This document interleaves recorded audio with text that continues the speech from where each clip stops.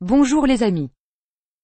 Je vais vous parler de trois éléments très importants qui déterminent la valeur d'une pièce de monnaie. Mais avant toute autre chose, n'oubliez pas de vous abonner à la chaîne Sacra Moneta si ce n'est pas déjà fait. Vous recevrez ainsi gratuitement des actualités sur les monnaies de collection. Vous pouvez aussi cliquer sur le pouce j'aime sous la vidéo. Combien vaut cette pièce? C'est la question que se posent la plupart des personnes qui découvrent une pièce de monnaie inhabituelle, ancienne ou étrangère. La valeur des pièces de monnaie est déterminée par trois éléments très importants. Le premier élément est la quantité de pièces fabriquées.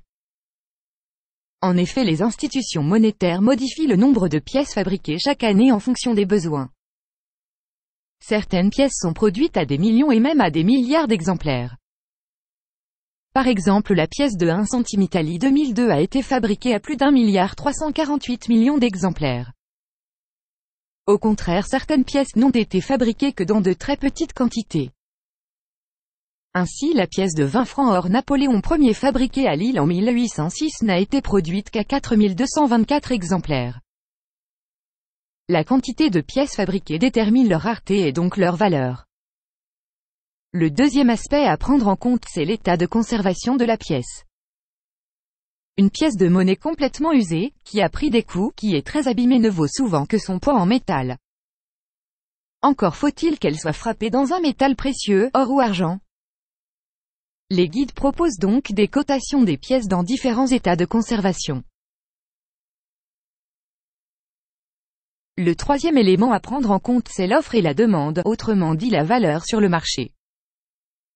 Une pièce de monnaie vaut ce qu'un acheteur est prêt à payer à un moment précis. Ainsi certaines pièces peuvent être rares et ne pas se vendre pendant des années. Au contraire on a vu une pièce française de 10 louis d'or de Louis XIII extrêmement rare se vendre aux enchères pour près de 3 millions d'euros en 2014. Pour en savoir plus, cliquez sur les liens sous la vidéo. Si cette vidéo vous a plu n'oubliez pas de cliquer sur le pouce j'aime sous la vidéo. Cette présentation de trois éléments très importants qui déterminent la valeur d'une pièce de monnaie est terminée. Merci pour votre attention et à bientôt.